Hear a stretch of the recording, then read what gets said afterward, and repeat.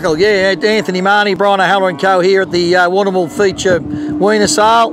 Uh, yeah, look, very good sale. We had rain, of course. Uh, we had some pretty hot days with rain today, but um, yeah, look, the uh, the heavy cars sort of up to sort of mainly made between 460 to about 485. Um, but then, you know, as every sale goes, those lighter calves really hit the mark, particularly light ones up to uh, $6. But, um, you know, pretty much trade around that 5, you know, 40, 50, 60, around those mark. Uh, the heifer job was pretty strong too. Um, it was very consistent. I know we had a, a, pen sort of topped at about 540, but it was very consistent around that sort of 460 to sort of $5 mark. Um, so look, we ended up with uh, 2,700 cattle or it might have been a few more. So uh, very good lineup, very happy. Everyone's sort of uh, gone away fairly pleased with what's happened.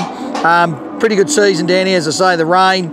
But um, look, we actually sort of wouldn't mind it sort of cleaning up a little bit as far as a bit of sunshine. But you know, very good today. And we were lucky enough we sold under the roof here today, under the soft flooring for the first time here at Warrnambool, which uh, went very well. We are able to get our heavy calves on there.